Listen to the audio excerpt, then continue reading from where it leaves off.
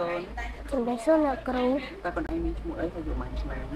ខ្ញុំមានឈ្មោះសំសិរីមណាអាយុ8ឆ្នាំអឺតើទៅថ្ងៃខ្លួនឯងផ្នែកទីម៉ែដែរ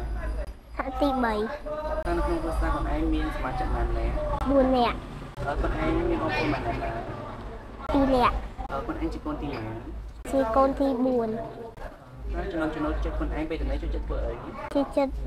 លេងជាមួយបងប្អូន អឺតើនៅផ្ទះមានដែរបានជួយកិច្ចការផ្ទះពីដែរ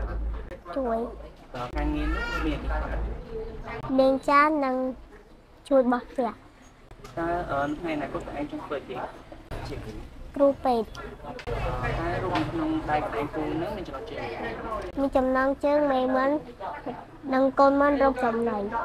ហើយអឺខ្លួនឯងពេលគូហើយមានអារម្មណ៍អីដែរសប្បាយចិត្តរីករាយវាអត់មិនច្រើនរីករាយ